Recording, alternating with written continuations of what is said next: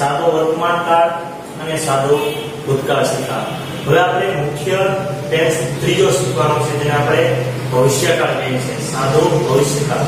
કારણ કે મુખ્ય ત્રણ ટેન્સ હોય છે, વર્તમાન કાળ, ભૂતકાળ અને ભવિષ્યકાળ. પછી એના પેટા વિભાગ કરતા હોય છે. તો આપણે આજે ત્રીજો ટેસ્ટ જોઈએ, સાદો ભવિષ્યકાળ. તો એની અંદર એ ક્યારે વપરાય, એમાં સહાયક ક્રિયાપદો કેટલા હોય, કેવી રીતે વાક્ય રચના હોય શકે, દરેક બાબત આપણે આ વિડીયોમાં શીખશું. તો આપણે જોઈએ ધ સિમ્પલ ફ્યુચર ટેન્સ જેને આપણે કહેવાય સાદો ભવિષ્ય કાળ. હવે ક્યારે વપરાય એનો ઉપયોગ ક્યારે કરાય એ આપણે જોઈએ. તો ભવિષ્યના, ભવિષ્યમાં નજીકના સમયમાં થનારી ક્રિયા દર્શાવવા માટે આ કાળનો ઉપયોગ થાય છે. તમે ભવિષ્યમાં કોઈ બાબત અથવા તો વસ્તુ અથવા તો કોઈ કામ કરવાના હોય, એ બાબત દર્શાવવા માટે ભવિષ્યકાળનો ઉપયોગ થાય છે. તમે કાલે કોઈ કામ કરવાના છે એમ તમારે કેવો તો ભવિષ્યકાળ થશે. અથવા આવતા વીકમાં અથવા તો આવતા મહિને, આવતા વર્ષે અમુક કોઈ પણ તમે સમય એવો બતાવો ભવિષ્યનો, તો હંમેશા સાદા ભવિષ્યકાળમાં અથવા ભવિષ્યકાળમાં લખાતો હોય છે. હવે ભવિષ્યકાળની અંદર સહાયકારક ક્રિયાપદો બે છે. જેમ વર્તમાન કાળમાં ત્રણ છે એમ ઇઝ આર, ભૂતકાળમાં બે છે વોઝ અને વર, અને ભવિષ્યકાળમાં પણ બે છે, શેર અને વિલ તો આપણે શેલ અને વિલ આગળના કાળોની જેમ જ કે જ્યારે વાક્યમાં ક્રિયા ન થતી હોય, ત્યારે આપણે તો આને આપણે મૂળ ક્રિયાપદની સાથે વાપરવાના હોય છે.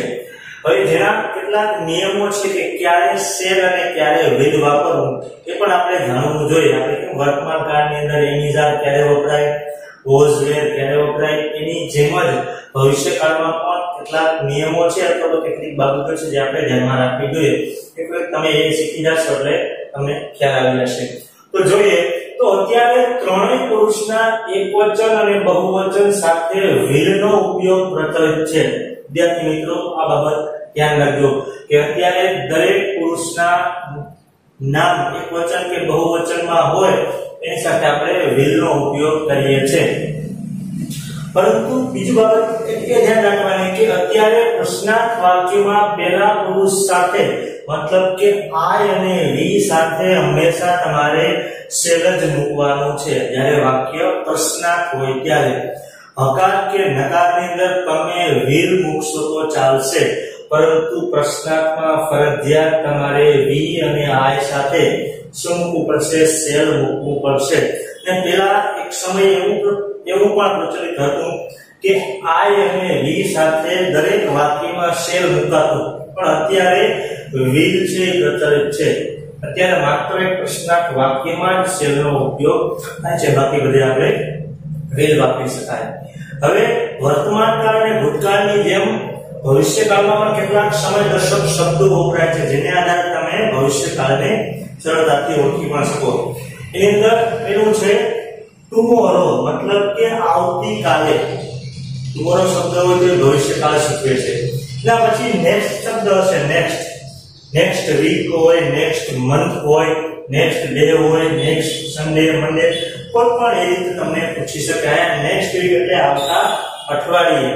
નેક્સ્ટ મંથ એટલે આવતા મહિને. એના પછી ધ ડે આફ્ટર ટુમોરો એટલે આપણે પરમ દિવસે એમ કહે છે. તો એ ભવિષ્યના બધા સમય બતાવે છે. તો એ ભવિષ્યકાળમાં આપણે લખી શકાય.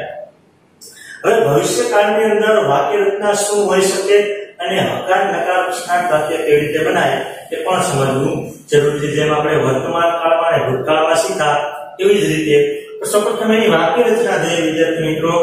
તો જેમ આગળના કાળમાં આપણે શીખા એ મુજબ જ છે, માત્ર સહાયક ક્રિયાપદ અને મૂળ ક્રિયાપદમાં ફેરફાર થઈ શકતો હોય. તમે જોશો હકારમાં કર્તા શેલવિલ પ્લસ મૂળ ક્રિયાપદ પ્લસ કર્મ પ્લસ અન્ય શબ્દ જેમ આગળના કાળમાં હતી એ જ મુજબ વાક્ય રચના અહીંયા પણ છે. નકારમાં કર્તા plus shall will plus not plus મૂળ ક્રિયાપદ પ્લસ કર્મ પ્લસ અન્ય શબ્દ. આગળથી એ જ મુજબ. ને પ્રશ્નાર્થમાં શેલ અથવા વિલ પ્લસ કર્તા પ્લસ મૂળ ક્રિયાપદ પ્લસ કર્મ પ્લસ અન્ય શબ્દ. વિદ્યાર્થી મિત્રો, તમે એક વખત આ ભકાર ભકાર અને પ્રશ્નાર્થની વાક્ય રચના તમને મગજમાં બેસી જશે તો તમે શીખી લેશો તો દરેક કાળની અંદર તમારે યાદ રાખવું પડશે નહીં. કારણ કે ખાલી પછી ક્રિયાપદો કરે એ તમે જોઈ શકો. આનું એક્ઝામ્પલ જોઈએ. Amar will meet his friend tomorrow કયા કર્તા અમર છે, એની સાથે આપણે વિલ રાખ્યું છે. મૂળ આપણે મીટ છે હિઝ ફ્રેન્ડ કર્મ છે અન્ય શબ્દમાં શું છે ટુમોરો અમર તેના મિત્રને કાલે મળવાનો છે. તો ભવિષ્યની બાબત થઈ, તો આપણે આ રીતે આકાર વાક્યમાં દર્શાવી શકીએ આ જ વાક્યનો નકાર વાક્ય બનાવવું હોય તો અમર વિલ નોટ. આપણે વાક્ય રચના પ્રમાણે જાશું તો શેલ અથવા વિલ પછી શું મુકાય? નોટ. તો Amar will not meet his friend tomorrow Amar તેના મિત્રને કાલે મળવાનો નથી. તમે કહી શકો આ જ વાક્યને આપણે પ્રશ્નાત્મક ફેરવીએ તો પ્રશ્નાત્મક બનાવવું હોય તો વાક્ય રચના પ્રમાણે શેલ અથવા વિલ પહેલા આવશે વાક્યમાં પેલા વાક્યમાં વિલ ઉપરાયું છે તો આપણે વિલ આગળ દેશું જે કરતા અમર છે તો will Amar meet his friend tomorrow શું અમર તેના મિત્રને કાલે મળવાનો છે? તો પ્રશ્ન તમે કરી શકો. તો આગળના કાળની જેમ આમાં પણ આપણે એક જ વાક્ય ઉપરથી હકાર, નકાર અને પ્રશ્નાર્થ વાક્યને સમજી શકાય. તો એટલી બાબતો ખાસ નોટ કરજો વિદ્યાર્થી મિત્રો. આગળના વિડીયોઝમાં આપણે વધારાના એક્ઝામ્પલ જોશું અને આની અંદર ગોઈંગ ટુ વાળી રચના પણ પૂછાય છે. તો એના વિશે પણ ચર્ચા કરશું. આજે એટલું રાખીએ. નમસ્કાર.